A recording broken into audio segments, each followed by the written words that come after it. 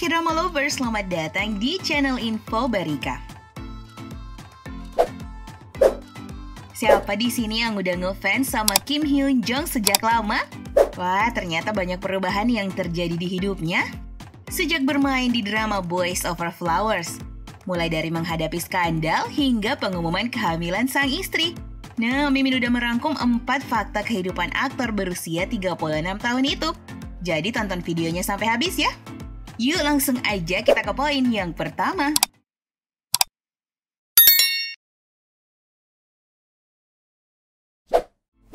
Istri Kim Hyun Jong tengah hamil dan sedang mempersiapkan pendidikan pranatal dan persalinan.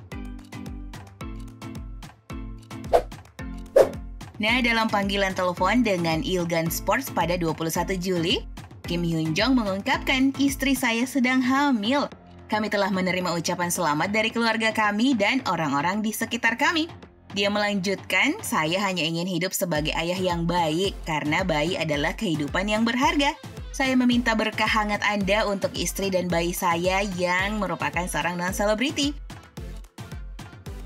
Kim Hyun Jong pertama kali mengumumkan berita pernikahannya selama konser online pada bulan Februari lalu. Pada saat itu, Kim Hyun Jong berkata, saya telah membuat keputusan untuk menghabiskan sisa hidup saya dengan orang yang berdiri di sisi saya selama masa-masa yang paling sulit. Nah, sementara itu, Kim Hyun Jong juga akan segera memulai aktivitas hiburan baru, seperti merilis musik baru. Kim Hyun Jong berkata, saya ingin bertemu banyak orang melalui kegiatan sesegera mungkin.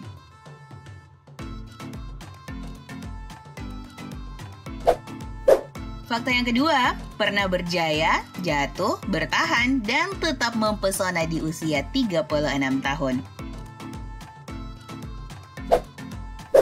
Ingat gak ketika rilis kembali pada tahun 2009, K-drama Boys Over Flowers sangat populer di Asia. Pada saat itu, meskipun berperan sebagai pemeran utama pria dalam drama tersebut, Lee Min-ho, lawan mainnya sangat terpukau oleh Kim Hyun Jong yang memainkan pemeran utama pria kedua. Dibandingkan dengan peran arogan Lee Min-ho, karakter Kim Hyun Jong jauh lebih lembut dan dengan demikian mendapatkan cinta yang besar dari para pengamat K-drama. Setelah memulai debutnya di grup K-pop terkenal SS501 dan mendapatkan perhatian besar melalui Boys Over Flowers, Kim Hyun Jong pernah memimpin karir yang mengagumkan dengan ketenaran yang luar biasa di seluruh Asia. Dia kemudian membintangi sebagai pemeran utama pria dari serial 2010 Playful Kiss yang tidak mencatat peringkat pemirsa yang tinggi sih, tetapi masih terkenal di sebagian lain Asia. Namun, aktor idola itu tersandung ke dalam skandal serius tepat di puncak karirnya. Secara khusus, pada tahun 2014, Kim Hyun Jong dituduh melakukan pelecehan fisik terhadap pacarnya yang mengarah ke serangkaian tuntutan, klaim, dan anak yang tidak diinginkan. Nah, Mahkamah Agung memutuskan untuk mendukung Kim Hyun Jong pada tahun 2020, tetapi kerusakan telah terjadi dan karir aktor idola itu pun telah jatuh.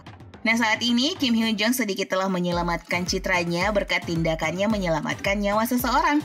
Aktor ini masih memiliki visual yang luar biasa ya pada usia 36 tahun ini dan masih sering memposting foto dirinya dan karyanya di media sosial. Namun ketenarannya memang di masa lalu tidak dapat dipulihkan kembali.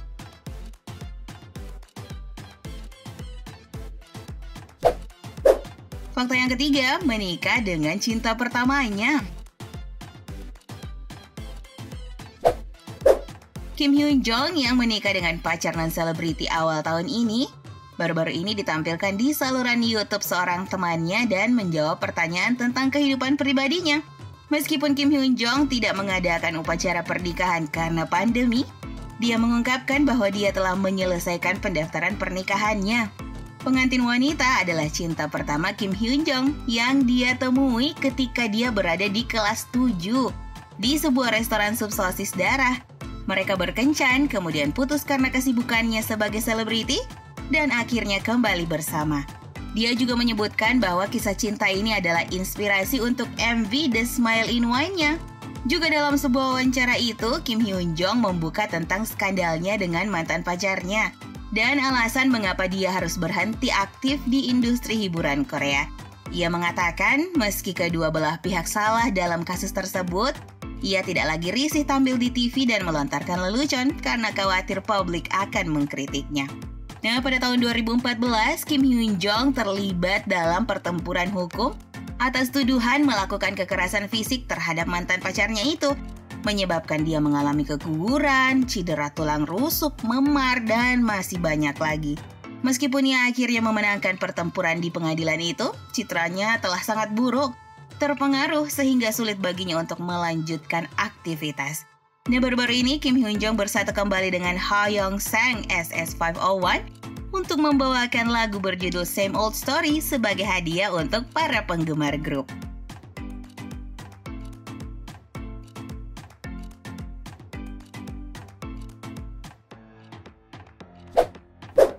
Ia kini hidup lebih sederhana dan biasa,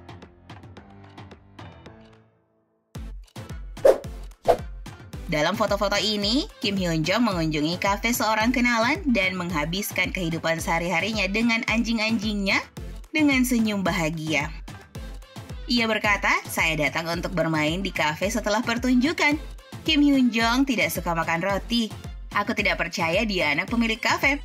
Aku akan mengunggah lebih banyak karena aku mendengar bahwa Encong akan segera datang. Dan sementara itu, Kim Hyun Jong yang memulai debutnya di bawah lima anggota boy group SS501 pada tahun 2015. Mulai fokus pada akting setelah drama populer Boys Over Flowers 2009 dan saat ini ia aktif terlibat dalam aktivitas Instagram dan YouTube pribadi.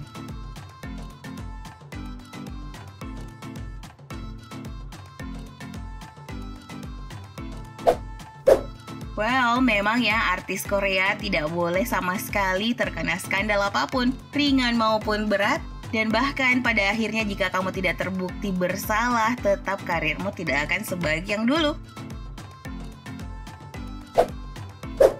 Well, sayang banget ya, padahal tuduhannya sudah tidak benar namun citranya tidak bisa kembali seperti dulu lagi. Memang ya tidak mudah menjadi selebritis Korea. Duh, gimana nih menurut kalian K-drama lovers? Dulu Kim Yoon Jong sempat dibenci, namun sekarang ia kemudian ingin memperbaiki citranya kembali sedikit demi sedikit. Kita dukung ya. Baiklah, gimana nih menurut kalian K-drama lovers? Turut bahagia ya dengan kehamilan sang istri?